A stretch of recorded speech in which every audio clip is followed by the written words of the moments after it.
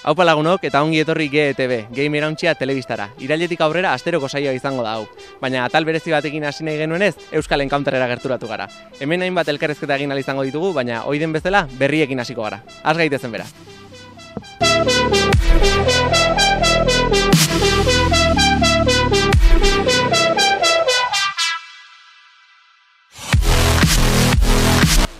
Duela aste eta piko izan genuen Game Irauntxiko udako batzarra, eta bertan hainbat gairi buruz jardun genuen, baina garrantzitsuenetako bat baliteke Game Irauntxiko arpidetza zerbitzua izatea.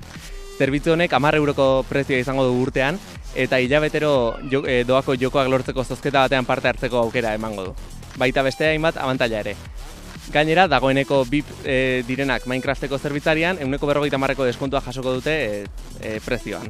Orain arte jakin dugu Rise of the Tomb Raider e, Xbox One erako esklusiba gisa aterako zela, baina orain jakin dugu beste plataformetara noiz helduko den. Gabon hauetan helduko da Xbox One-era eta datorren urte hasieran PC-era eta urrengo gabonetan, hau da 2016 amaieran, iritsiko da PlayStation plataformetara. Lehen aldiz eSports Liga profesionaletan antidoping testak egiten hasi dira. Hau, Zenfiz jogalariak berak eta bere CSGO-ko taldeak e, anfetaminak kontsumitzen zituztela onartu ondoren e, gertatu da. Erabaki honek, le, orain arte debekatuak egon diren drogak topatu alizateko aukera emango baitio liga profesionalari. Zer iruditzen zaizue halako erabaki bat bideojoken munduan? Plataforma mugikorretako merkatuak sorpresa handia izan dira azken urteotan eta oso oso e, etekin handia atera dela argi geratu da. Hauetako lehenengotariko jokoa Angry Birds izan zen eta orain bere enpresa sortzaileak Robiok erakutsi digu lehen aldiz Angry Birds B jokoa. Angry Birds B deitzen bada ere, dakizun bezala hainbat e, joko izan ditugu saga honetan, e, beste artean ba, Rio, Space, Star Warseko hainbat eta bar, baina orain lehen aldiz Angry Birds B delakoa aterako da, eta badirudi berrikuntza asko ekarriko dituela. Zer uste duzu egin beharko duela Robiok e, saga honi berriro interesa sortzeko? Eta berriekin amaitzeko erabiltzaile batek egin, duen, egin duen demo bat erakutsi nahi dizuegu erabiltzaile honek Pokemoneko 3D modelo batzuk hartu ditu eta Unreal Engine lau motor grafikoan sartu. E, maitza ikusgarria da eta espero dugu Nintendo noiz baita alako jokoren bat egitea, itxura bikaina duelako.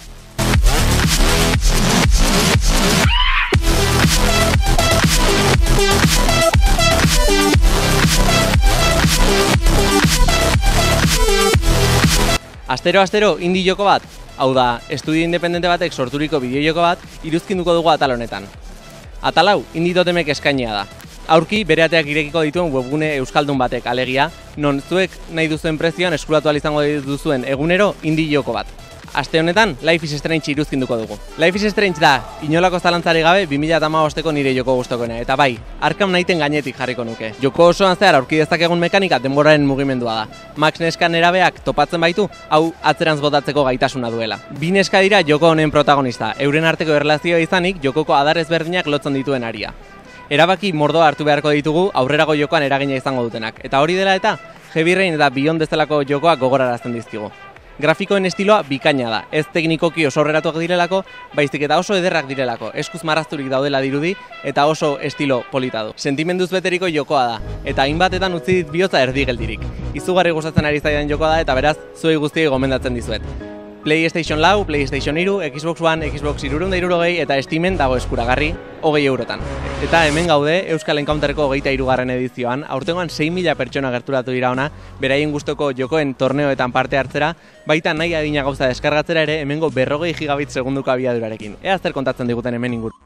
Borja Etxegoenarekin gaude, eri estudioseko game designer eta programatzailea, eta beraien azken proiektuari buruz jardungo dugu, Paint Your Way deitzen dena. Nola deskribatuko zenuke Paint Your Way jokoa? Ba, Paint Your Way plataforma zantzekua da, e, Mario 64 goratzen baldin behar plataforma haundi bat, nahi egiteko, baina bere puntu garantzitsuena da, zu koloriak hartzeitu zula, eta kolore horiekin plataforma zeun nola margotzezun, plataforma hori leku batea beste muitukoa.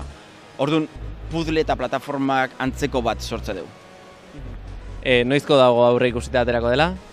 Ba, guain jungo gea PlayStation premiota, hoi da ba, urrengo abuztuan, eta kortia pasatzen baldin badeu, eta Madrilen berakutziko dugu, oain goz. Bestela, ba, supongo, demo ateukiko dula urte bukatu baino lehenua. Urte bukatu baino lehenago, deskargatu izango da, demo bat? Oi, espet. Pro promesa?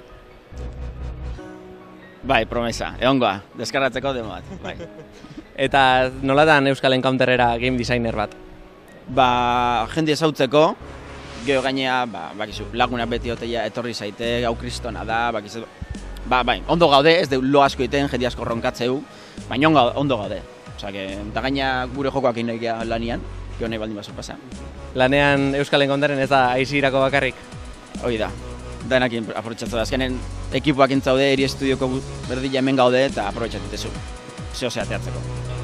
Bueno, Andoni, zemarren urtea da ona etortzea ja, batzu bai onizkero ez da? Bai, ni uste amargarren hau behatzi garren izango dela. Urte batzuk pasau ditute etorri barik, ba, 2000 maikatik golan, baina aurten manima nahi berriz etortzen. Veterano bat orduan ez da? Eta Bai, bai, jode. Ba, nahi hasierako urtiak eta zelan juten zidan, eta jo, oso ondo. Eta zer da e, encounter batetik gehien gustatzen zaizuna edo horrela, e, jolastea, e, sarean gauzak geistea, itzalditara joatea, edo, bueno, zerbait badukazu horrela gustatzen zaizuna, bereziki? Bai, bueno, jolaztia nahi mordo gustatzen gata, baina gehien bat ambientia eta goten dana eta juntatzen zarela, ba, igual, e, kanpoko jentiakin, ba, igual, e, ordenadori aurrian, ba, bereekin askotan egotzen baina gero bertan e, aurre aurre sarrez ez garanak ezautzen eta bueno, gehien bat hori, gero txarlak eta bai, ba, lantzian me junten nahi. Baina gehien bat ambientia eta hauen hori, ambiente Aupa Borja, ze moduz, ondo, zemarren edizioa da, urtengoa ona etortzen zarela? Ba, jarraian hiru baino, oen dela amabi amairu urte etorten, eta nik uste zazpi aldiz olatorren izela. Zu jokutara, ez da game bate ibiltzek, ibiltzeko eta hori dana, eh? txapelketetan parte hartzeko, ez da? Bai, oain azken urte hauetan betire hori txapelketa ezberdinak eta jolastea, eta ea txapelketan bat irazten duen aurten edo ez. Ondo, ondo. Eta ze joku izaten dira hola, e, parte hartzen duzutena edo jolasten duzuna zure kauz? Beitu ba, oain azken aldian gehien ibiltzena MOBA, MOBA estiloko jokuak, eta hori, oain ibiltzeka Heroes of the Storm, dala hori, Blizzarrek ataun azkenengo MOBA hau. Eta horta, horta gatoz batez ere jolastea.